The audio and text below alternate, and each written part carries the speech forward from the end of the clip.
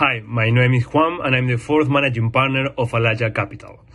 We are in the fundraising of our third fund and we think we are in a unique moment to raise a fund. Firstly, because these uh, funds that, that are born during crisis used to overperform through the media. On the other hand, LATAM innovation is more related to inclusion than disruption, and our entrepreneurs need funds to build their businesses. So we are a really hard-working team and hands-on team, and for sure we are going to help entrepreneurs that are growing in LATAM to build big things and resolve big problems because in our big problems are the best opportunities to invest.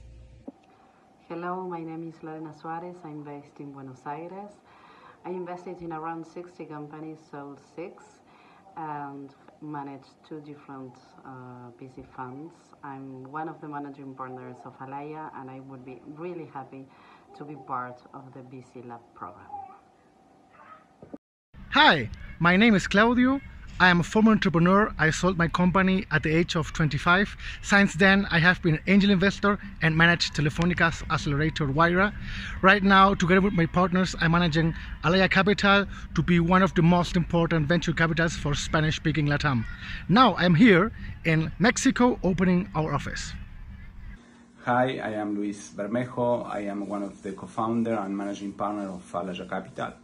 I am based in Argentina and we have been investing the last 10 years helping companies to scale across the region and globally.